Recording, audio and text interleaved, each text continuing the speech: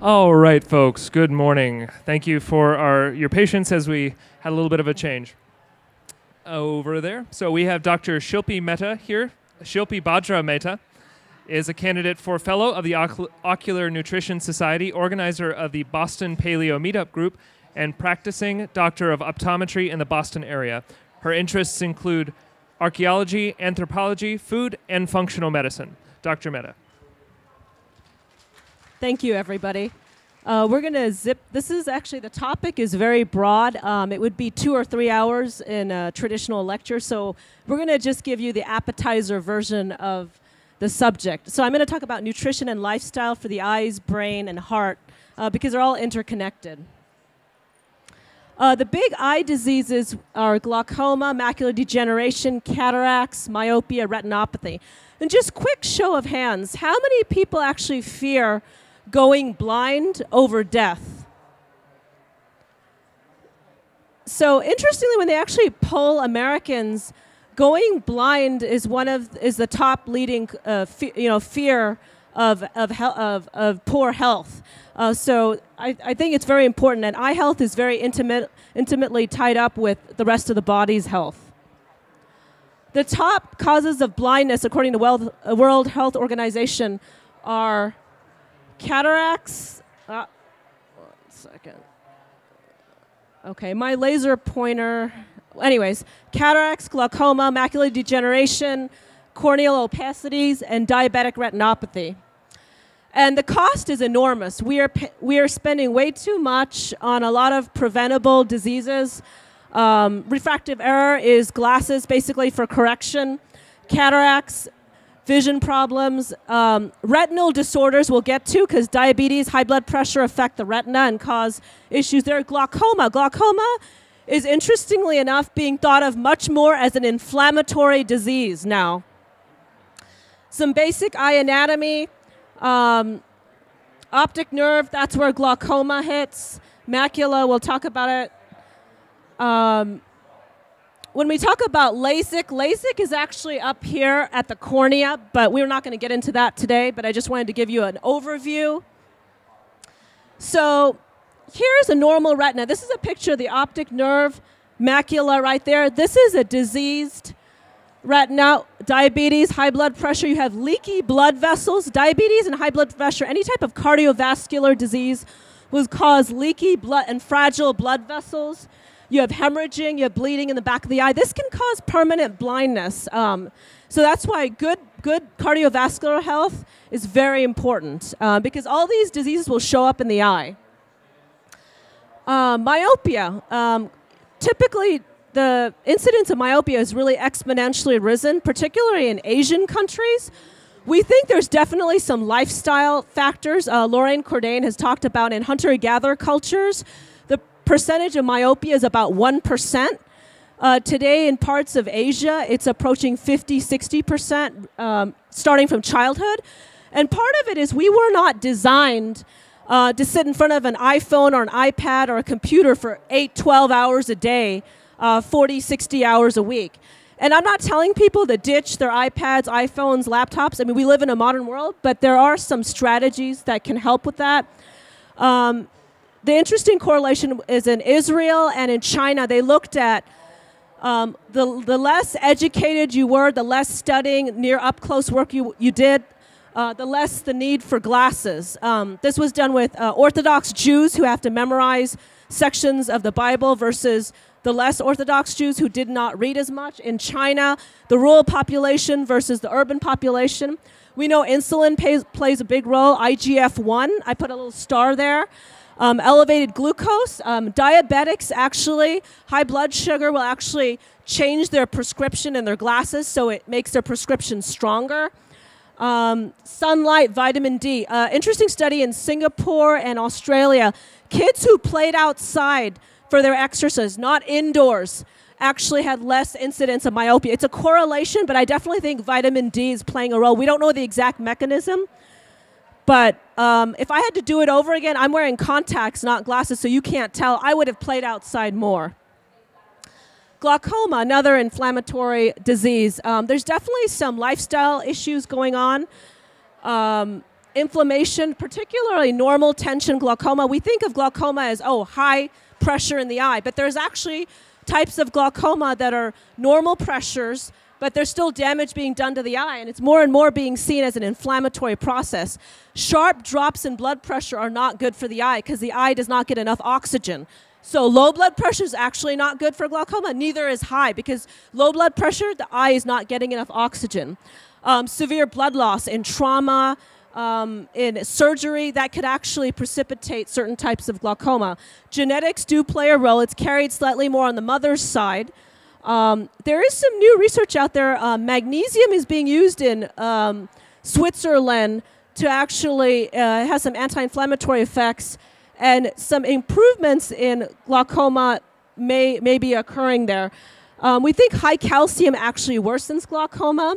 Iron is, uh, is, is not as uh, good, particularly for postmenopausal women and iron excess. Of course, we have 1 billion people on this planet with anemia, so that's the other end. And I will say anemia is also bad for the eye. You can have um, you can have hemorrhaging and different types of blood vessel problems in the eye due to anemia. I saw actually two cases of pregnant women with hemorrhaging in the eye due to severe anemia.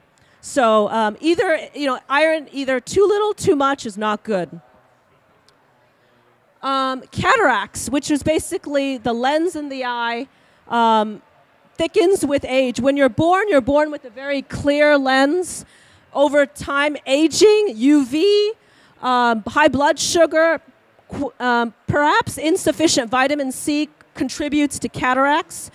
Um, the Eskimo have almost no rate of cataract, traditional Eskimo, but they also are not exposed to UV. So we have a little confounding variable there. But we do know that diabetics, on average, will get cataracts sooner and more severe than the rest of the population. And I've shown three types of cataracts here. This is a cortical cataract. It looks like a spoke. This here is a nuclear sclerotic cataract. That's the, the one on the left is the most common age-related cataract. When people go for cataract surgery, it's most likely the one on the left. Um, vitamin C, the lens in the eye where a cataract occurs, is the highest amount of vitamin C in the whole body. And I actually think as a population, the RDA is very poor. Um, it's a little controversial. We don't really have good clinical trials on vitamin C, quote unquote, preventing cataract. But I think since it's a water soluble vitamin, you, you flush it out. You can't really build toxicity to do it. It's probably a good idea to supplement. Macular degeneration, um, or sometimes known as age related macular degeneration. I'm going to talk about diet, uh, antioxidants, lutein, zeaxanthin. We're going to talk about macular pigment optical density, the amount of these antioxidants in the, in the macula. Uh, we're going to talk about fish. We're going to talk about leaky gut, a bunch of different things. Um, what you can't control, you can't control your age. You can't control your genes. However, we know that macular degeneration is an epigenetic disease. So it's the, it's the interaction of the environment with the genes. Um, and there's two types, dry and wet. Dry is very slowly progressing, and it's typically treated actually with vitamins and supplements. Wet macular degeneration, there's um, it's so fragile, the blood vessels break in the eye and leak. And wet macular degeneration is not fun because the conventional treatment is an injection every six weeks in your eye. And I don't know about you, but I would rather eat my fish, eat my green leafy vegetables, eat my antioxidants than get an injection in my eye every six weeks. Um, and it's also expensive. Um, I'm just going to show you some pictures. This is wet macular degeneration, the really severe form. That would be a 2400, 2200, probably legally blind eye right there. Um, this is the leftover scarring once it dissipates. Uh, this is a normal macula, that's how it should look. And we have different types of scarring. Um, lutein and zeaxanthin. This is courtesy of uh, Dr. Hammond, who get presented at Ocular Nutrition Society. This is his slide. I owe it to him. Um, lutein and zeaxanthin found in green leafy vegetables, and we'll get more into the dietary uh, recommendations. But lutein and zeaxanthin increase chromatic contrast, the ability, if you're nighttime driving, the ability to see on a cloudy, snowy, rainy day whether there's a pedestrian, a bicyclist, who's there in the mirror.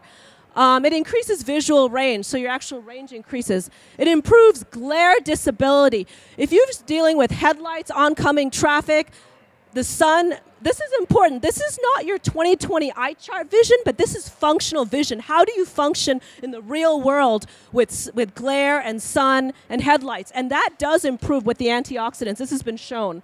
Um, and also, visual motor processing speeds because these antioxidants, lutein and zeaxanthin, not only found in the eye, they're found in the brain. All right.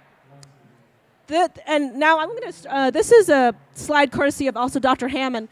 The lutein zeaxanthin are part of the carotenoids family, which is also known as your uh, beta carotene and, and that whole family of antioxidants. So breast milk has way more. So already at birth, some of us have an advantage, some of us don't. So look at formula. In this country, they do not they do not supplement lutein and zeaxanthin in infant formula. In Europe, they are doing that. Um, there is a movement to try to add this to infant formula, and I hope that will happen. Um, it's also delivered very early. You see in colostrum, those of you, this is lutein, colostrum, and then mature milk. You can see this graph. This is again courtesy of Dr. Hammond. Cognition, lutein and zeaxanthin in the brain, they correlate directly to cognitive function in the elderly. So, centenarians, people who live over 100 years old, they have higher levels of lutein and zeaxanthin in their brain, and it correlates with memory retention, verbal fluency, and if you have more of these antioxidants, you have less dementia. So, a four month double blind, I know everybody loves these randomized control trials, double blind supplement of DHA formed, you know, get your basically your fish plus lutein showed improvement verbal fluency and memory and these antioxidants can actually be measured in the eye and it increases with supplementation. With food it's even better. I'm a big supporter of food. Um, here's lutein and zeaxanthin. It's found all over in the brain. Um, and the hypothesis as dr hammond explained to me is that it improves the optics of the eye so not only do you see better but it also helps with processing in the brain Now, I wanted to talk about glare. So, I don't know if you can see the difference. This is extreme glare. With lutein and zeaxanthin, you get a 47 improvement. That's substantial. So, this is going to look a little bit more like that when you're eating right. Um, and that's a really tremendous improvement. And yeah, on the eye chart, you may not improve your prescription. You, mo- you may not be able to get rid of your glasses, but I would rather take this vision over that any day. And this worsens with age. This type of visual visual processing is what happens with age. Um, again, this is about again improvement with supplementation. If you're at the lowest level of eating these antioxidants to the highest, again, this is the sort of visual difference you're going to see. What to eat? I say to my patients, one to two egg yolks a day, unless you have an egg allergy. A half to one cup minimum greens a day collards, kale, spinach, Swiss chard, mustard greens, turnip greens with good quality fat avocado, cold pressed olive oil, coconut oil, grass fed butter because it increases the absorption. One pound oily fish with skin on, preferably salmon or three tins of sardines, herring. Um, if you really can't stand fish, lemon flavored, a Norwegian good quality molecularly distilled fish oil about one to two grams per day, combined DHA and EPA. So this is, if you remember nothing else from this lecture today, I want you to remember this slide because this is a visual of what you should be eating. This is your one or two egg yolks. These are your green leafy vegetables, and there's your salmon down there.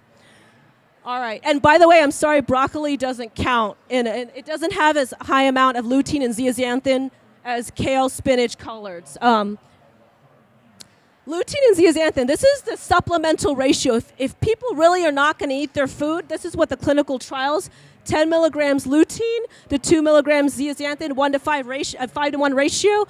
Usually in nature, it's about 2 to 1. Um, lutein uh, is more affinity for the rods, which is your peripheral vision. Zeaxanthin is, um, they're actually stereoisomers. Here's a new subject, just came out um, very new article in 2013 Obesity, Lutein Metabolism, and Age related macular degeneration, a web of connections. I don't have time to talk about it, but I just thought I'd mention it. Top foods in lutein and zeaxanthin. Nasturtium, which is actually a type of yellow flower similar to like marigolds. Kale, cooked, you have more because per, in volume it, the water comes out. Spinach, turnip, turnip greens, uh, collards, chard egg yolks. This is a big one. Actually, they measured egg versus spinach, lutein. When you test the serum, the blood level, egg yolk is more bioavailable.